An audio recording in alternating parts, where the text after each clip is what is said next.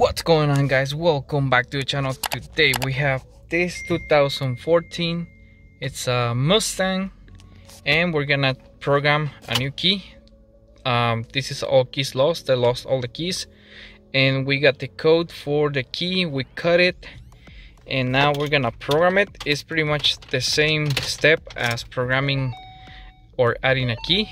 It works the same.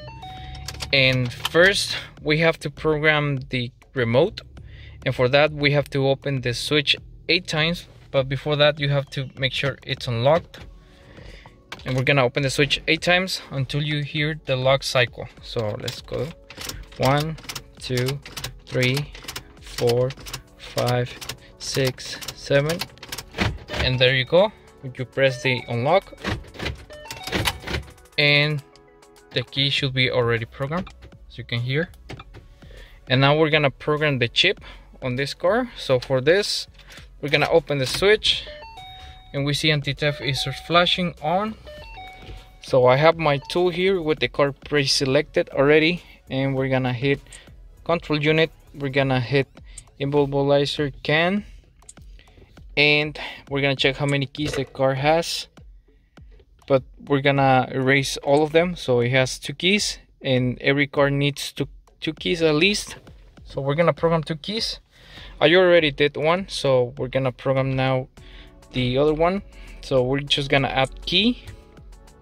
And this pressure will not erase keys.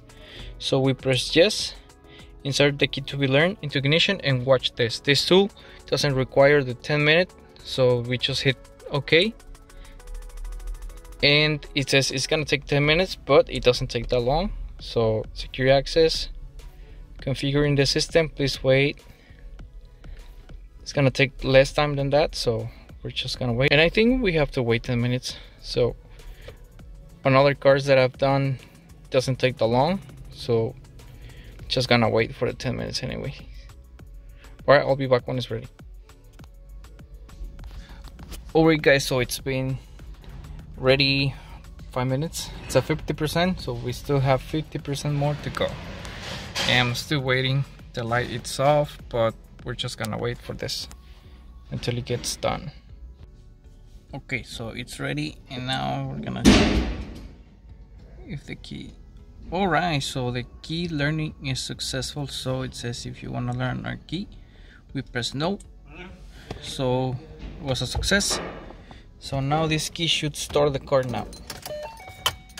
Now let's see if it starts. So the key is programmed. So this is how you program the ignition key for a 2014 Ford Mustang.